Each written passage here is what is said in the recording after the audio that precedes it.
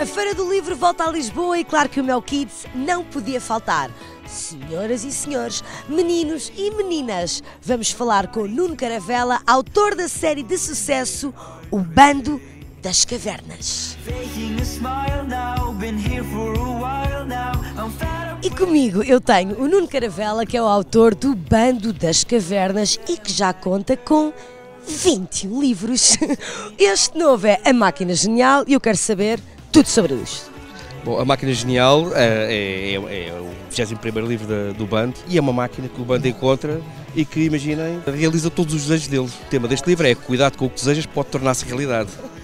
Posso contar aqui um pormenor engraçado, porque eles começam a fazer todos os. Uh, começam a perceber que a máquina realiza todos os desejos e eles vão ao ponto de alterar o próprio livro. Então a paginação do livro fica toda trocada, as cores do livro ficam todas trocadas, tal ponto que na produção tivemos de dizer a, quem vai imprimir os livros que isto é mesmo assim, é? que eles até se assustaram.